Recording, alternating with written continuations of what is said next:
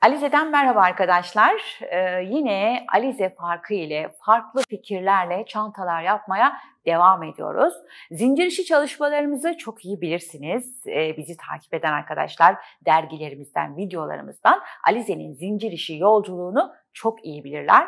E, tabii çantalarımıza da uyarlıyoruz. Çünkü e, bunlar e, farklı çalışmalar oluyor arkadaşlar.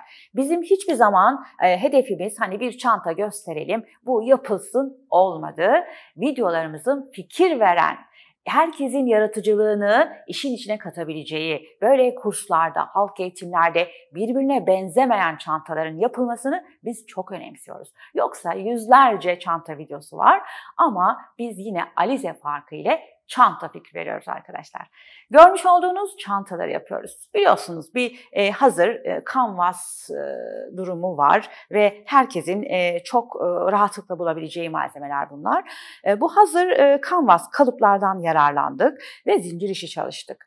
Alize e, Cotton Gold ipliğimizi kullandık burada. E, şöyle de göstermek istiyorum. Yeni renkler arkadaşlar. Bakar mısınız renklere? Ee, biz baka baka doyamadık bilmiyorum. Size de bir göstermek istedim. Ee, böyle Alize Cotton Gold ile alt bölümlerini çalıştık.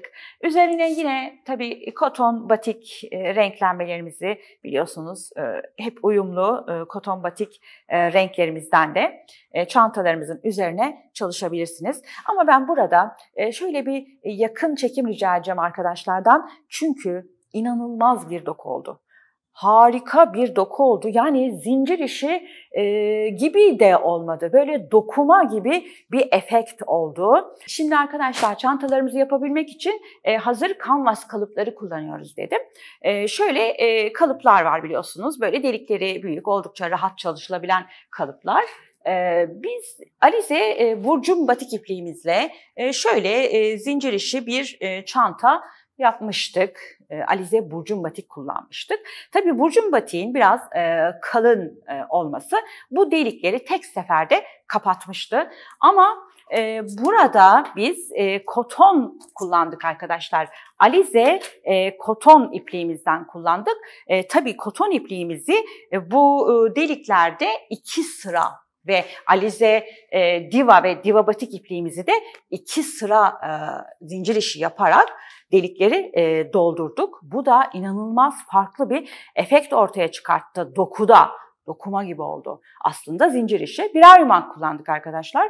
Hani e, bir yumak e, Alize Cotton Gold batik, bir yumak Alize Cotton Gold. Yine burada bir yumak e, Alize Diva ve e, bir yumak Alize Diva batikten e, kullandık.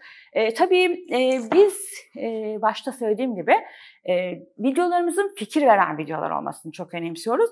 E, burada da yine hani dümdüz de yapabilirsiniz. Bu e, kalıpları dümdüz böyle e, zincir işiyle kaplayabilirsiniz. Ama ne dedim? Bir e, delikten iki sıra gidip gelerek kapatıyoruz delikleri. Üzerine böyle çiçekler de yapabilirsiniz çantalarınızda. Bunları teknik bölüm için aslında hazırlamıştık. Ama şöyle de bir göstermek istiyorum ön bölümde. E, bu çiçeklerin yapımı da arkadaşlar geçen sene e, yazlık çantalar çalıştık. Alize YouTube kanalımızda bu çiçeklerin yapım videoları var. Tekrar ona girmek istemiyorum. Çünkü buradaki konumuz e, zincir işi, farklı bir konu. Ama oradan bu çiçeklerin yapımını izleyebilirsiniz arkadaşlar. E, şimdi evet e, fikir veren videolar diyorum ya hep. Şimdi burada aslında e, hani e, bir çantadan daha fazla fikir var bence. Çantalarımızda aslında sadece e, çanta yapma fikri yok. Yani bunu gösterdik. E, şimdi bu çantanın aynısı yapılsın. Biz hiçbir zaman e, böyle bir hedef koymuyoruz kendimize. E, çünkü çok fazla fikir var aslında.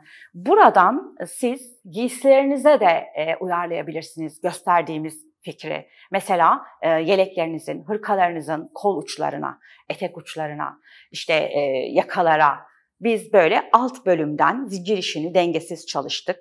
E, çizgiler şeklinde. Zaten batiğin görünümü çok farklı oldu.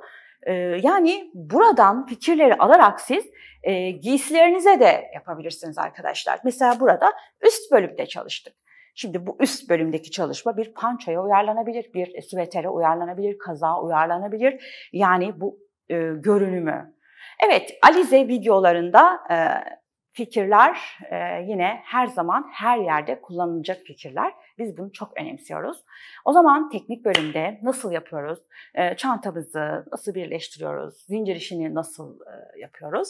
Bunları sizlerle çalışalım. E, görüşmek üzere. Evet arkadaşlar, şimdi çantalarımızı şöyle yakından bir inceleyelim. E, görmüş olduğunuz gibi Alize Cotton Gold, Alize Cotton Gold Batik böyle e, kullandık birer yumak arkadaşlar.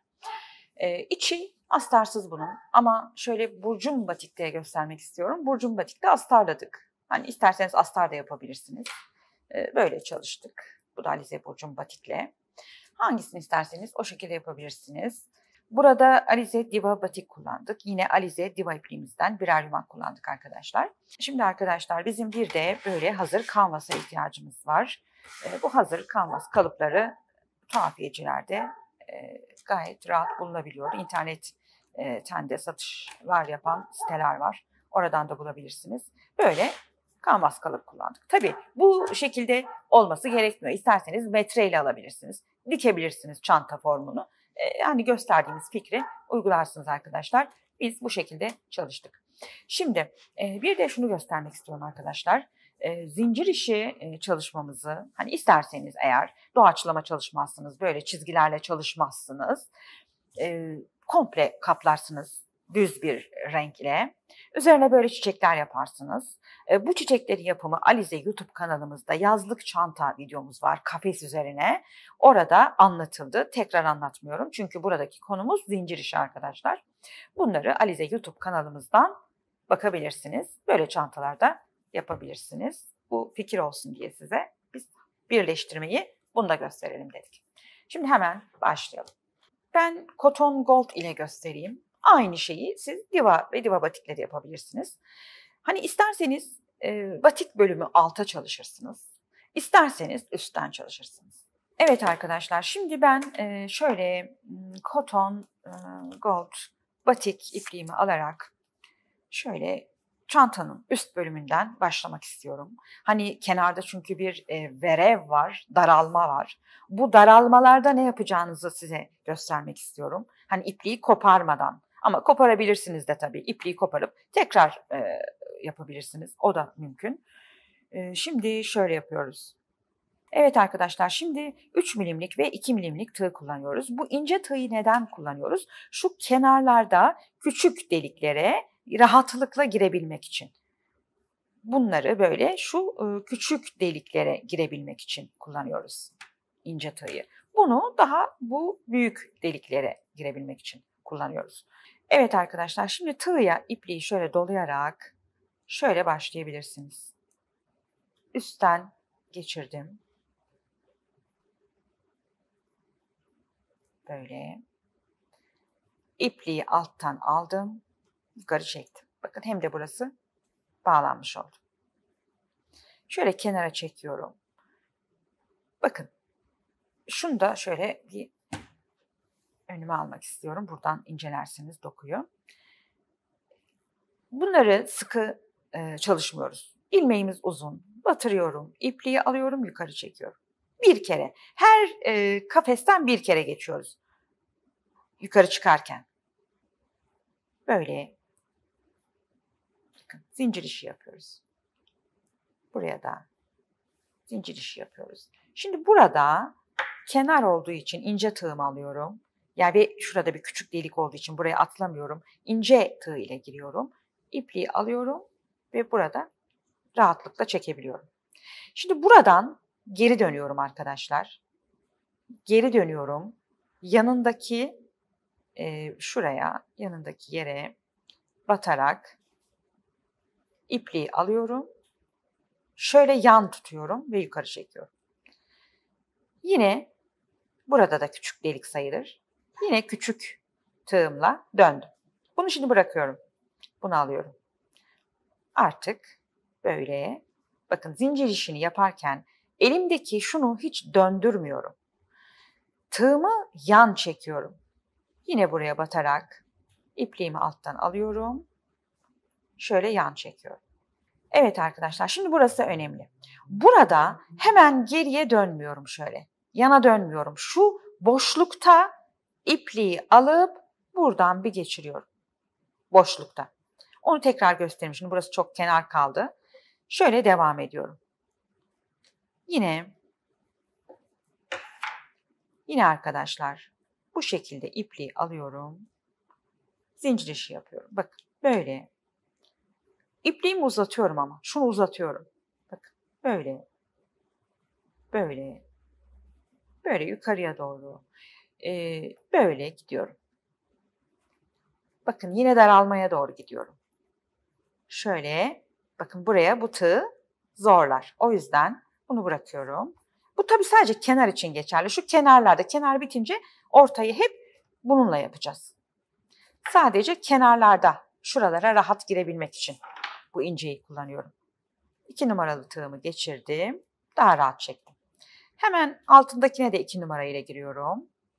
Yine bakın yan çekiyorum. Yan çekmek çok önemli. Daha kolay çekersiniz ipliği. Tamam. Şimdi bunun işi bitti. Bunu alıyorum. Ve yukarıdan aşağıya doğru kanvasımı hiç çevirmeden bakın bu şekilde böyle çok kolay e, zincir işiyle batik rengimi işliyorum. Şimdi burası önemli demiştim. Burada dönmüyorum. Burada dönersem şu üstte boşluk kalıyor. Bakın şu boşlukta şu boşlukta şöyle ipliğimi alıp şu kenarı bir zincir işiyle dolduruyorum. Dışı yani en dış bölümü ki hani böyle çekerken burada şey olsun. Şu en üstte yapılı olsun. Şimdi üstte bu şekilde geçirdim tığımı. Bakın buradan aldım dıştan buraya geçirdim. İpliğimi aldım ve e, zincir işine devam ediyorum. Şunu çok önemsiyorum arkadaşlar. Videoları tam izleyin. Lütfen videoları başından sonuna izleyin. Çünkü sorduğunuz sorular arkadaşlar hep videonun içinde var. Her şeyi videoda gösteriyorum ve söylüyorum ama hep e, hiç göstermemişim gibi, hiç anlatılmamış gibi sorular alıyoruz. Evet bu şekilde bakın yine inceye dayandık. Şimdi burada şey yok arkadaşlar şunu göstermek istiyorum. Hani bir sıra yok, sayı yok, ölçü yok. Bunları gelişi güzel, girintili çıkıntılı. Bu şekilde mesela dört tane kafes ilerledim, geri döndüm. Geldim, e, şuna dikkat etmeliyiz. Hiç aynı hizada yapmamalıyız. Hep aşağıda, yukarıda, aşağıda, yukarıda. Yani birisi yukarıdaysa mutlaka diğeri e, daha bir e, aşağıda olmalı. Yukarı bakın daha yarısı aşağı, daha uzun, daha aşağı. Yani e, bunun resmini de alabilirsiniz ama aynısını uygulamaya kesinlikle çalışmayın arkadaşlar. Böyle dengesiz, hiçbir şey hesaplamadan canınızın istediği gibi çalışabilirsiniz. Sadece şuna dikkat etmelisiniz. Hani çantanın yarısına kadar bir gelmişiz bakın. Şu 3-4 yerde çantanın bir yarısına kadar çıkmışız. Sonra hep bu yarısını geçmemişiz artık. Geriye, ileriye bu şekilde sadece ama önce batiyi. Şimdi batiyi ben biraz ilerlemek istiyorum. Şöyle buradan yine e, geri döneceğim arkadaşlar. Bakın şurası ince. Buraya yine iki numara ile giriyorum. Çektim. Bu sadece kenar için geçerli. Ortalarda kullanmayacağız biz bu ince tığımızı. Bakın ipliği şöyle çekerseniz hiç e, takılmaz. Çok rahat olur. Yani şuradan gireceksiniz biraz ipliği. Tığıyla o zaman çok rahat alabilirsiniz. Ama bununla devam etmeyin. Bununla ince tığ ile devam ederseniz katları açılır. Katları açılır. O yüzden ince tığı bırakıyorum. Kalın tığı daha rahat e, yapıyoruz zincir işini. Böyle bakın yan çevirmek çok önemli. Tekrar tekrar söylüyorum çünkü zorlanmanızı istemiyorum. Yan çevirerek böyle şimdi ben ilerliyorum. Siz izleyin arkadaşlar. E, dengesiz e, böyle çalışmalarımıza devam edelim. Evet arkadaşlar şimdi şurası önemli dedim. Bu son kafeste bittim ama hemen dönmüyorum çünkü boşluk olur. Bunu alıyorum. Böyle burada bakın çektim. Hemen yan tarafa atladım. Yine ipliğim hep altta. Böyle, böyle ilerliyorum. Şimdi dengesiz e, çalışmalar dedim. Hiç hani bir sıram yok. Burada mesela dönmek istiyorum. Artık burada döneyim. Hani şu aynı hizadan dönmeyin. Biraz alttan yani arada hep fark olsun. İki e, kafes, bir kafes, üç kafes. Böyle farklar olsun. Böyle geri döndüm. Şimdi e, şu ne kadar rahat e, çalıştığımı ve kolay olduğunu bir görün. Bakın sondayım. İpimi aldım, yine geçirdim. Hemen yana geçtim. Yanda yine aldım ipimi. Böyle devam ediyorum arkadaşlar. Böyle, böyle. Şimdi aynı hizadan dönmeyelim. Biraz ilerlemek istiyorum. Şöyle bir ilerledim bakın. Buradan dönmek istiyorum. Hemen yine dönerken bir alta, bir alta batıyoruz. Böyle. Dönüyorum. Evet, bir alta batarak arkadaşlar döndüm. Şimdi şöyle birkaç tane yapacağım size. Ee, göstereceğim.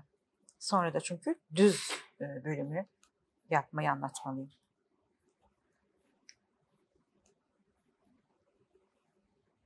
Evet, burası önemli. Bakın burada şöyle kenara çekiyorum yaptığım zincir işini. Aynı e, kafesten geri dönüyorum arkadaşlar. Bakın aynı kafesten geri dönüyorum.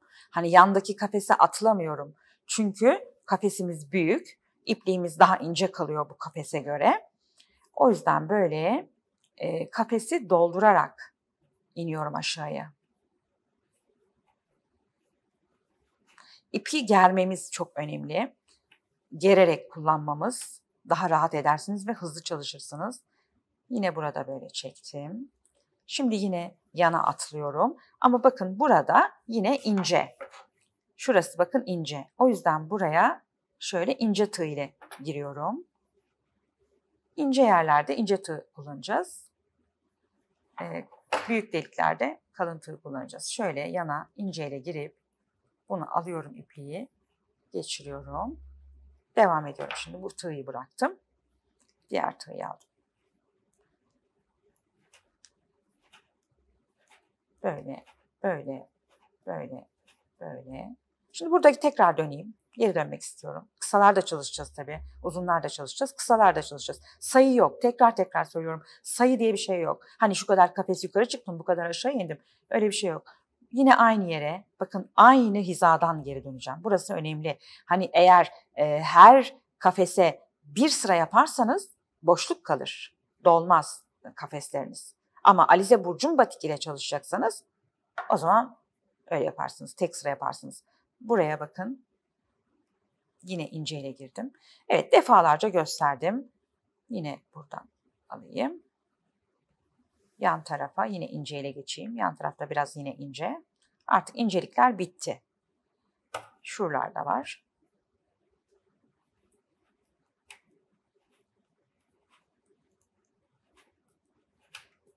İsterseniz komple kaplarsınız düz renkle. Dediğim gibi üzerine çiçekler çalışırsınız. İsterseniz bu şekilde. Yine döndüm.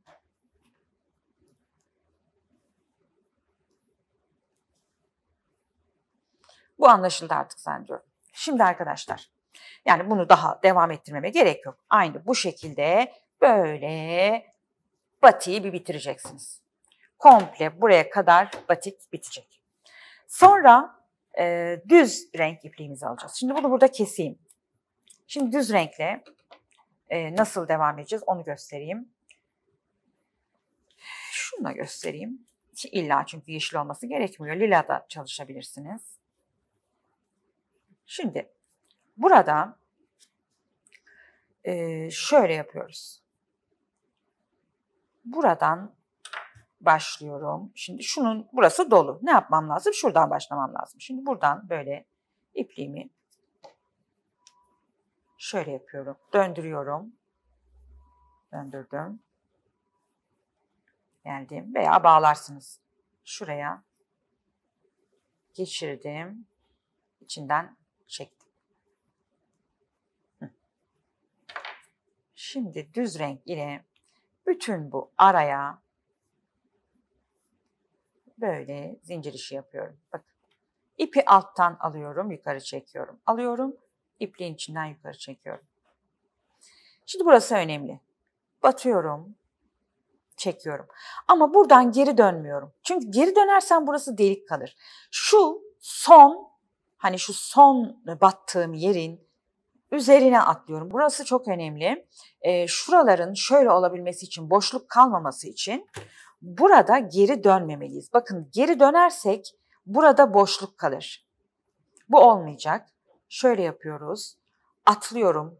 Bu en son battığım yere çektim. Şimdi bunun yanına, bakın şuraya atlıyorum. Hemen yine e, bu bunun dibine. Bu çok hızlı oluyor tabii. Ben size gösterebilmek için bunu böyle yapıyorum. Böyle battım ve geri döndüm. Bu şekilde hızla devam edebilirsiniz. Bakın şuraya kadar çıktım. Yani şuraya giriyoruz. Bakın tekrar gösteriyorum. Buraya ve buraya. Girerek geri dönüyoruz. Tekrar bir tane daha göstereyim. Bir de burada önemli bir şey göstereceğim. Ee, onu da hani buradan başlayanlar e, o şekilde de yapabilirler. Çünkü tıkanırsınız burada ne yapacağız dersiniz. Çok önemli bir şey göstereceğim orada. Bakın şöyle bitti. Şimdi burası bitti. Buradan ben eğer geri dönersem sonra burayı yapamam arkadaşlar. Burayı yapamam. Benim şuraya atlamam lazım. Buraya atlayabilmek için ipimi şöyle çekiyorum. Burada yandan şunu alıyorum, içe çekiyorum alta. Sadece tabii bu kenarlar için bu söz konusu. Buralarda zaten hiç öyle bir şey yok. Dümdüz gideceksiniz. Ama kenarları göstermedin demeyin diye.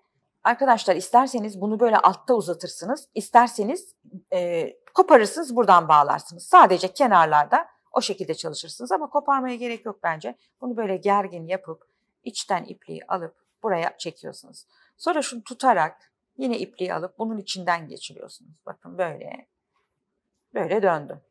Bunu bırakıyorum ince tığımı. Yine bunu aldım.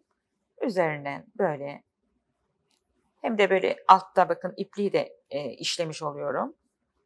Böyle, böyle, böyle arayı dolduruyorum şimdi.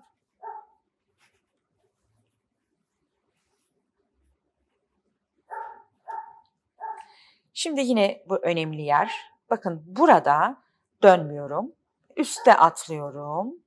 Çekiyorum. Burada ipi germek çok önemli. Geliyorum ki bolluk kalmasın. Hemen yanına giriyorum. Tekrar tığımla. Çekiyorum böyle. Geri dönüyorum.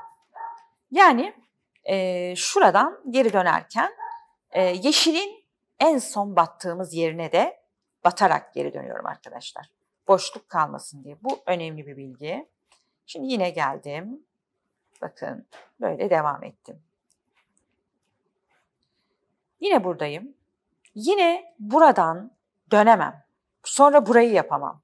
O yüzden yine ne yapıyorum? Bunu e, alta alıyorum, arkaya alıyorum ince tığ ile. Yanda giderken şöyle çektim alta. Bakın alta çektim. Bunu yine uzatıyorum biraz. Gergin bir vaziyette. Yine buradan tığımı geçirip şu en ince yerden bunu da böyle çekiyorum ucuna. Alttan kaydım. Şimdi bu bilgiyi ben verdim. Artık e, siz uygularsınız veya farklı bir yöntem bulursanız onunla yaparsınız. Tığımı yine bırakıyorum. Artık göstermeme gerek yok zannediyorum. Her şeyi e, anlattım. En önemli yer zaten şeydi. Bu kenar arkadaşlar.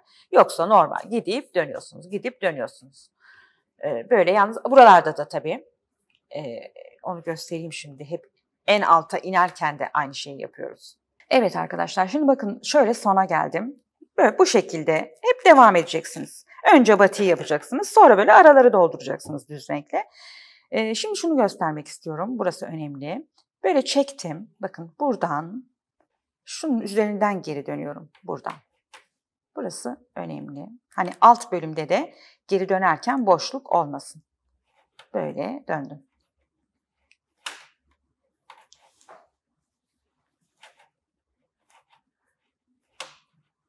Diyelim ki buradan geri döndüm. Şöyle ben kısa bir dönüş yapacağım. Şu alt bölümü gösterebilmek için. Çünkü orası önemli.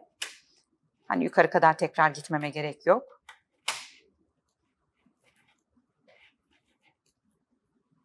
Yine aynı yere batıyorum arkadaşlar. Bakın.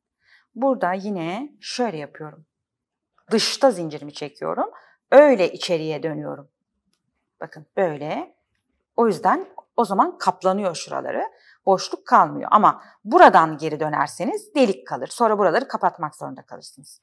Evet bu şekilde devam edeceksiniz arkadaşlar. Böyle hep dolduruyoruz ve parçamızı bitiriyoruz. Mesela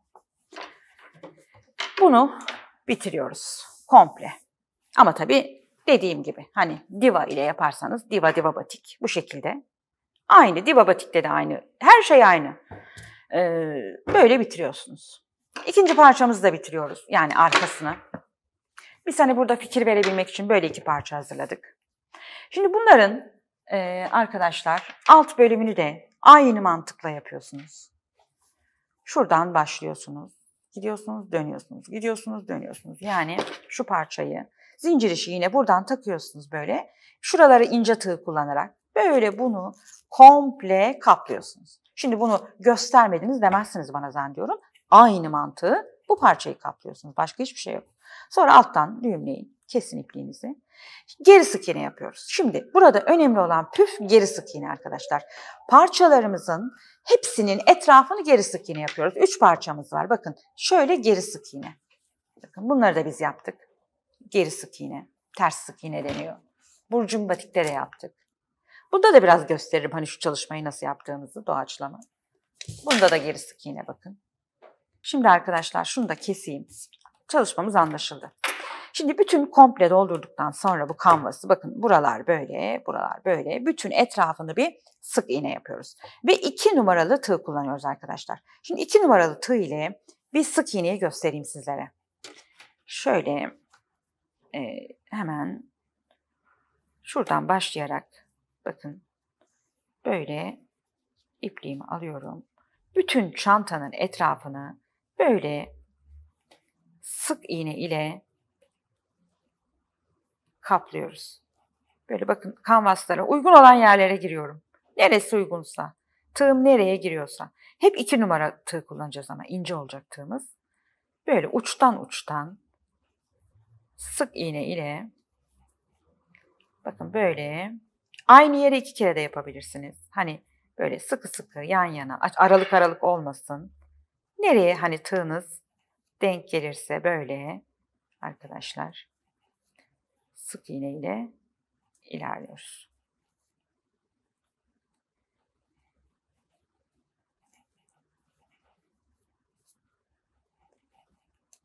Ee, hep aralara girerek, uygun gördüğünüz tığınızın girdiği yerlere girerek yan yana sık iğneler yapıyoruz. Aynı yere, aynı e, kafese tekrar girebilirsiniz. Bakın böyle.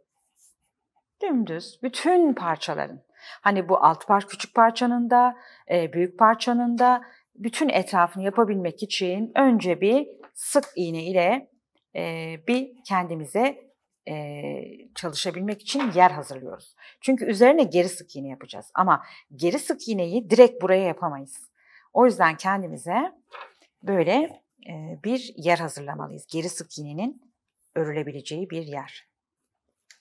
Hem de kenarlar böyle düzgün olsun. Şu uçlara da hatta batarsanız daha güzel olur. Kenarda şimdi göstereceğim ne demek istediğimi. Şöyle ilerliyorum ben. Bakın arkadaşlar şurada hani uçlar var ya şu ipin döndüğü yerler. Bunları sıkı çekmelisiniz aşağıya dönerken. E, ipi gerdirmelisiniz bu uçlar çok kalkmasın diye. Böyle bakın. Buralara batarsanız da Oraları da tutmuş olursunuz.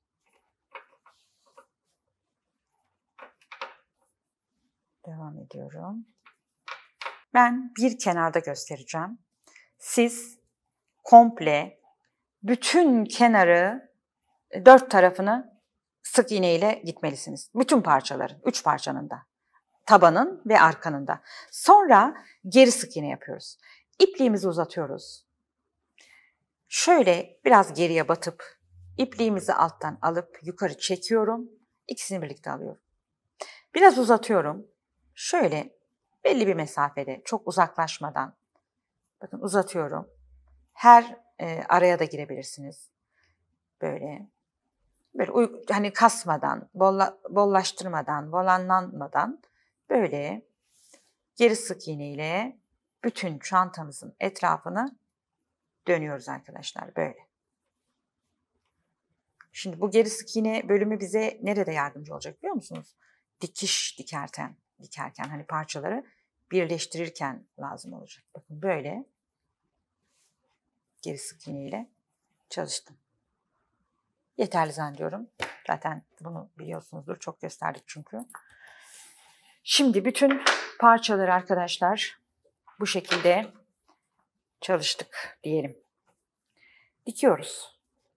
Sonra iğne ipliği elimize alarak şöyle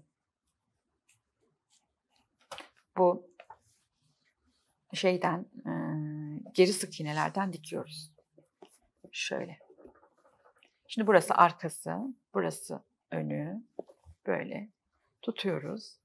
İğne iplikle bakın bu e, şey yaptığımız yerler bu sık iğne yaptığımız yerler bize yardımcı olacak. Böyle makine dikişiyle hani yakın yakın sıkı sıkı böyle dikiyoruz.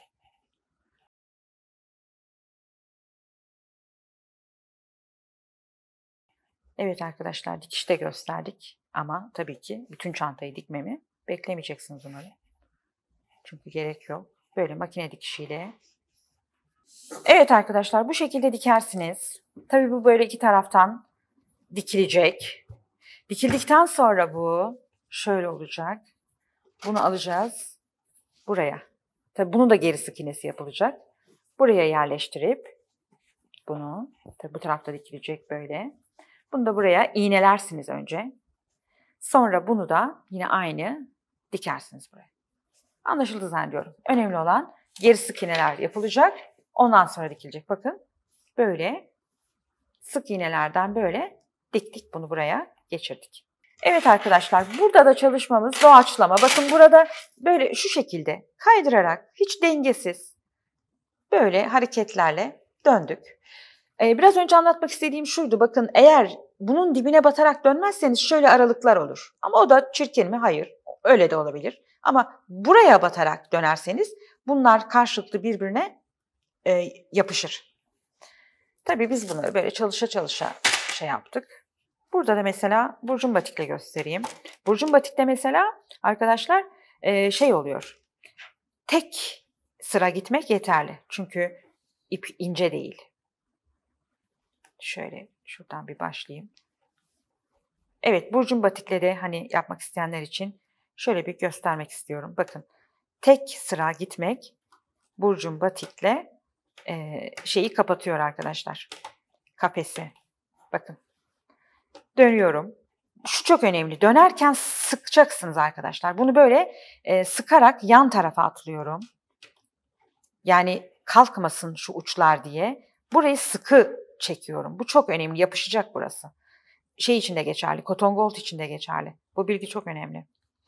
Böyle. Bakın gelişi güzel. Boşlukta da çekiyorum. Yana atlıyorum. Böyle. Şimdi burada ne yaptık? Dengesiz çalıştık. Sağa sola e, girişler çıkışlar. Mesela burada şöyle yapabilirsiniz. Döndüm. Bu tarafa da çalıştım. Önemli olan kafesin üzerini doldurmak. Yine dönüyorum. Ama her sıraya bir tane yani bir sıra yapıyorum. Her kafes sırasını. İpliğimiz kalın çünkü. Dönüyorum. Dönüşlerde iplik hep çekilecek, gerilecek, alttan böyle gergin tutulacak. Uçlar kalkmasın diye. Böyle. Böyle arkadaşlar. Anlaşıldı zannediyorum bu da. Bakın böyle geri dönüşlerle komple dolduruyoruz. Dengesiz bir şekilde. Anlaşıldı zannediyorum. Görüşmek üzere. Kolay gelsin.